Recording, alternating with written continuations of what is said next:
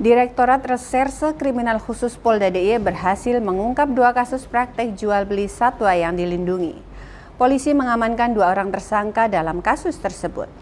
Barang bukti hasil kejahatan diamankan dari dua lokasi berbeda di wilayah Yogyakarta. Barang bukti yang berhasil disita pihak berwajib yakni satu ekor artistik binturong dan satu ekor elang brontok. Modus operandi yang digunakan kedua tersangka hampir sama, yakni menawarkan satwa yang dilindungi tersebut melalui pesan WA. Polisi menangkap keduanya saat melakukan transaksi jual beli di lokasi kejadian. Kedua tersangka dijerat Undang-Undang Nomor 5 Tahun 1990 tentang konservasi sumber daya alam hayati dan ekosistemnya dengan ancaman pidana maksimal 5 tahun penjara dan denda paling banyak 100 juta rupiah. Kita beralih ke informasi selanjutnya. Operasi justisi yang digelar Polda DIY bersama dengan stakeholder terkait terus dilaksanakan setiap hari.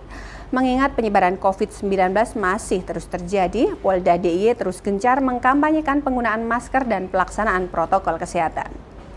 Para pengendara baik roda 2 maupun roda 4 harus mengenakan masker dengan benar saat berkendara. Jika kedapatan tidak mengenakan masker, para petugas akan memberikan sanksi baik teguran maupun sanksi sosial.